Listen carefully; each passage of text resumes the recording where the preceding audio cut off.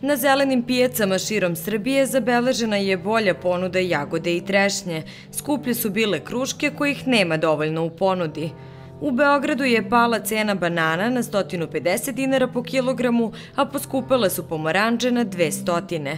U Loznici je poskupela jabuka Ajderet na 120 dinara, a pojeftinio limun na 170 i pomoranđe na 150 dinara po kilogramu. U Novom Sadu poskupele su banane na 150 dinara, a ista cena zabeležena u Somboru niža je u odnosu na prethodnu nedelju. U Subotici je pojeftinio orah i koštao je 800 dinara po kilogramu, dok je za ovaj proizvod u Zrenjaninu kupci trebalo da izdvoje 1200 dinara. Na kvantaškoj pijaci u Beogradu zabeležen je pad cena banana, kivija, jabuke ajderet i kruške. Banane su koštale 100 dinara, a kruška 195. Limun je poskupeo, a cena se kretala od 140 dinara po kilogramu.